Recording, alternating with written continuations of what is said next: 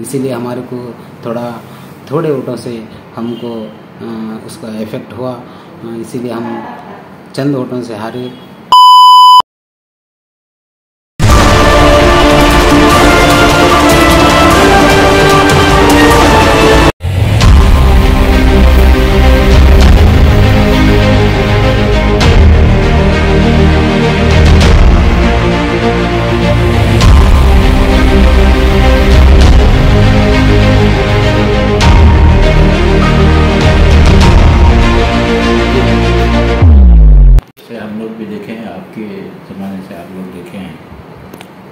इतने इलेक्शन रायचूर में जब से हुए हैं, ये 2023 के जो इंतबात हुए एम के रायचूर के अंदर, हल, सियासी हलचल, सियासी गड़बड़, एक ज़ौक़ और शौक़, हमाहमी, जो देखी गई पहले, ऐसा नहीं थी। उसकी वजह ये थी कि एक गैर मुतव उम्मीदवार कांग्रेस की तरफ़ से मैदान में आए थे। ये वजह से सियासी हलचल मच गई थी। और इसमें कांग्रेस की हार हुई, मोहम्मद शालम की हार हुई, ये एक अलग बात है। हार तो किसी के होना चाहिए जीत तो किसी के होना चाहिए। मेरे नज़दीक तो बहादुर इंसान वह है जो हार का मुँह देखने की बहादुरी रखता है। जीत तो सब देखते हैं। मगर इसमें खैर का पहलू एक ये आया कि पैंसठ हज़ार वोट मुसलमानों के एक जगह जमा होना इतना बड़ा इतिहाद इससे पहले कभी नहीं देखा गया। मुख्तलिफ़ तंजीमें, मुख्तलिफ़ ग्रुप आपस में जो रस्साकशी रख रख रहे थे, फिर भी उसमें मिलकर काम करने की वजह से। पैंसठ हज़ार वोट एक जगह मुसलमानों के आ जाना और सेकुलर वोट आ जाना नॉन मुस्लिम सेकुलर वोट भी एक जगह आ जाना। ऐसी मिसाल रायचूर की सियासत में कभी नहीं देखी गई थी। थोड़े वोटों से डॉक्टर शिवराज पाटिल साहब जीत गए। जीतना उनको था, जीत गए। वो कोई गलत काम अब तक ऐसा करे हैं, रायचूर के अंदर नफ़रत का काम करे हैं, ऐसा भी नहीं करे। डेवलपमेंट का काम वो भी करे हैं। वो भी अपना एक असर रखते हैं। मगर कालम साहब को मैं ये बोलना चाह रहा हूँ इस मंच से कि आप हार को अपनी हार को मत देखिए। अचानक आप एमएलए के कैंडिडेट से आगे जाकर एक कायद बन गए हैं। आपके हाथ में अब क़्यादत आ गई है। इसलिए कि पैंतालीस हज़ार वोट लेकर यासीन साहब कायद थे अब पैंसठ हज़ार वोट लेकर आप कायद हैं। बेशक साहब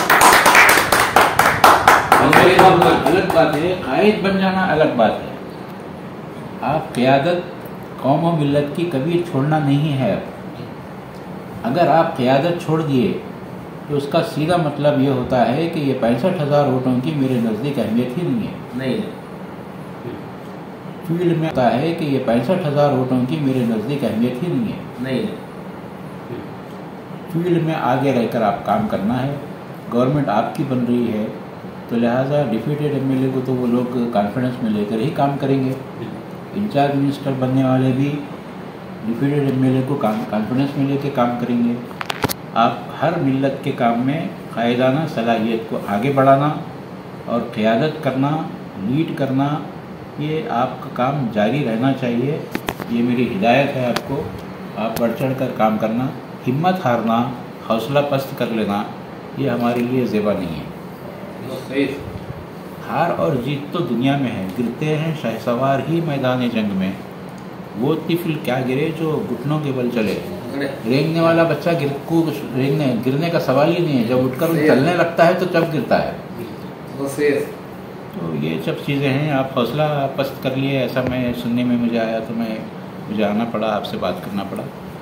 आपको पैंसठ हज़ार आप आज पैंसठ हज़ार वोट वाले हैं। गवर्नमेंट आपकी बन रही है। ये दो खुशियों में ये दो खुशियों की मुबारकबाद देने के लिए मैं आपकी दिलखुशी करने आपके पास आया। ओके। अस्सलाम वालेकुम रहमतुल्लाहि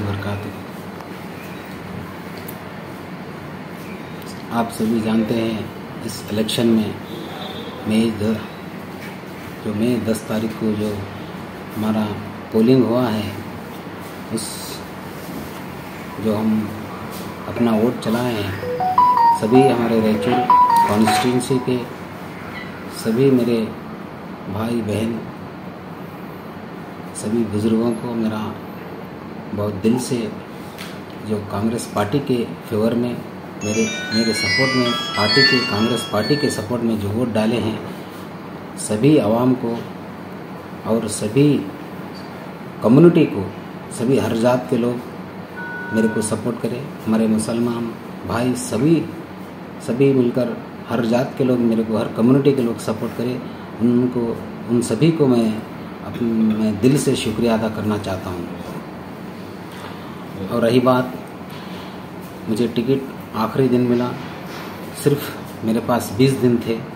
उस 20 दिन में मैं जितना कुछ करना था, मेहनत करना था, हमारे बसरा साहब के एक उनके एक डायरेक्शन पे गाइडलाइन गाइड पे और रवि बसराज साहब भी इलेक्शन में हमारे साथ रात दिन मेहनत करें, हम सभी लोग मेहनत करें, हमारे पार्टी के सीनियर लीडर मेहनत करें और हमारे पार्टी के वर्कर्स और हमारे city block president Basraj Reddy साहब रूरल ब्लॉक प्रेसिडेंट हमारे कुरुबदोड्डी अंजनाया और सभी पार्टी के वर्कर हर दिन रात एक कर दिए इस पार्टी को, इस मुकाम पर लाने के लिए, इतने वोट मिलने के लिए। उन सभी हमारे पार्टी के जो ज़मीनी तौर पे काम करे, उन सभी को मैं दिल से हमारे कांग्रेस पार्टी के वर्कर्सों को मैं दिल से शुक्रिया अदा करना चाहता हूँ। और रही बात, हम साठ पर पाँच हज़ार नौ सौ चिल्लर कुछ वोट लिए है। ये बहुत बड़ी हमारे लिए एक जीत है। मैं कभी इस, मैं चंद वोटों से सिर्फ़ तीन, साढ़े तीन हज़ार वोटों से हारा हूँ, लेकिन मैं कभी इसके बारे में मेरे को कोई मेरे को ये नहीं है। उसके बारे में मैंने सोच नहीं रहा हूँ। मैं इस इलेक्शन में जो कुछ भी हुआ है, मैं इससे डरने वाला नहीं हूँ। आगे जो कुछ भी हमारे कांग्रेस गवर्नमेंट आई है स्टेट के अंदर हर हर किस्म का डेवलपमेंट डेवलपमेंट करने के लिए मैं तैयार हूँ और सारे आवाम के साथ मैं डटकर खड़ा हूँगा। कौम का मिलत का और सारी कम्युनिटी का, हर कम्युनिटी के साथ में मैं ठहर कर मिलत का काम भी करूँगा। हर कम्युनिटी का जो कुछ भी मसले, मसाइल होंगे, मैं लोगों के साथ पब्लिक के साथ, मैं दिन रात का डेवलपमेंट डेवलपमेंट करने के लिए मैं तैयार हूँ। और सारे आवाम के साथ मैं डटकर खड़ा हूँगा कौम का, मिलत का और सारी कम्युनिटी का, हर कम्युनिटी के साथ में मैं ठहर कर मिलत का काम भी करूँगा। हर कम्युनिटी का जो कुछ भी मसले, मसाइल होंगे, मैं लोगों के साथ, पब्लिक के साथ, मैं दिन रात फिर मेहनत करने की कोशिश करूँगा, पार्टी को और ताकत देने का, मज़बूत करने का काम करूँगा।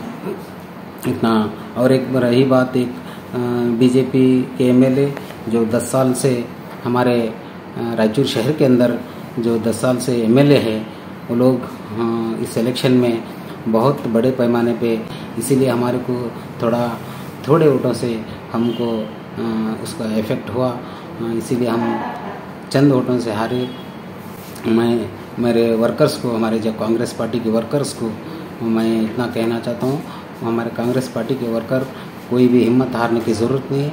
हम पार्टी हमारे बोसरा साहब, रवि बोसरा साहब और पार्टी के सीनियर लीडर और मैं, सभी हमारे पार्टी वर्करों के साथ हैं, हमारे सीनियर लीडर सभी लोगों के साथ रहेंगे।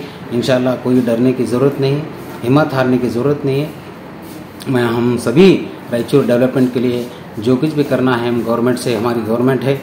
बहुत बड़े पैमाने पे, बहुत यदि पूरे स्टेट के लोग हमारे को एक गवर्नमेंट बनाने के लिए ताकत दिए और इसके तहत हम लोग सभी मिलकर रायचूर डेवलपमेंट के लिए जो हम, जो कुछ भी करना चाहें, वो सब करने के लिए हम तैयार हैं। लोगों के साथ, आवाम के साथ मैं हमेशा रहूँगा। इतना कहते मेरी बात ख़त्म करता हूँ बस।